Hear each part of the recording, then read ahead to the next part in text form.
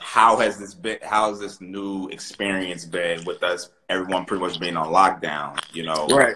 Uh, i mean it seems like you've already kind of had you know built into just like your life um a type of rest and a type of you know disconnecting from the world. So like now what does that look like for you with it not just being saturday but for the most part you know? Right it's like right. a whole week where like you know, there's not a lot of movement going on. Right. So for me, it's been about putting my head down, um, keeping in contact with my team that would normally be in the studio with me, um, talking to them about what they're doing in their personal studios. Because once again, I work with other artists, so they're all working, man. Everybody's in a place where we understand that what we do with our time will will in this time, you know, it's about knowing what to do with your time. Like it'll it'll show afterwards. There's going to be a time where we'll we'll end up, you know, coming out of this.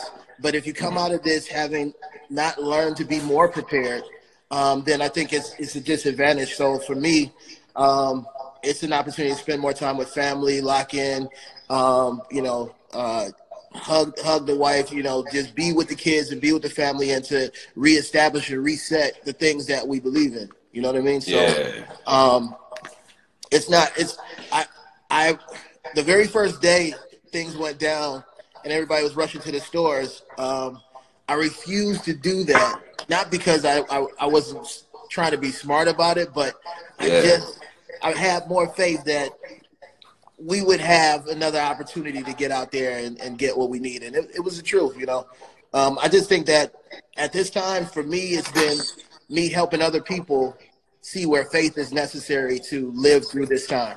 Because if you're if you're not living by faith it's hard to see outside of those walls especially if you don't like the environment that you're in or you're used yeah. to sleeping that if you're not used to working at home right now is a tough time for you you know? But for me it's it's been normal life um, for the most part. And just seeing the opportunity i can i can create anything i want to do right now you know? So that's what that's a blessing right now Nah, man, that's dope, man. Yeah, I know, like I'm kind of in the same space. You know, I mean, that's even how we got into the space of doing the study breaks. You know, the IG live situation was, yeah. man, like there's all this time where you know it's just ain't nobody trying to to to, to buy no product, right? Like like that.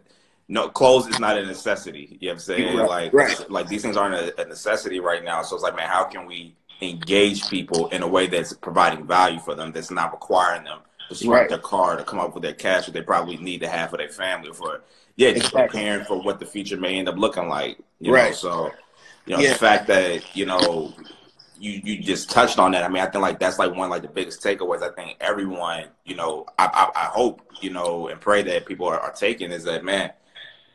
We have so much opportunity right now to do everything that we said that we didn't have time to do.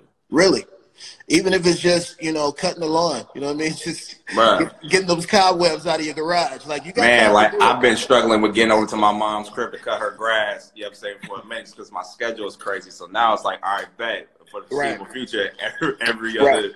every other Thursday, I'm in there. You know what I'm saying whacking it up. Right.